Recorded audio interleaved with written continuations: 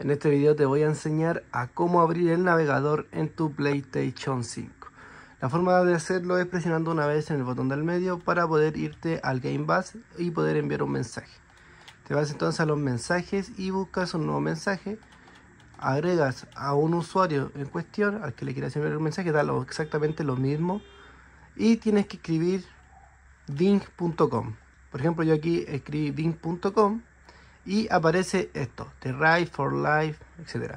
Si lo haces con google.com no te va a funcionar porque eh, como que lo han restringido, pero por ejemplo Bing sigue funcionando. Si presionamos bing.com nos va a aparecer esto y nos aparece el navegador de Microsoft Bing y aquí podríamos buscar lo que nosotros quieramos. Así que así de simple es como abres un navegador en tu PlayStation 5.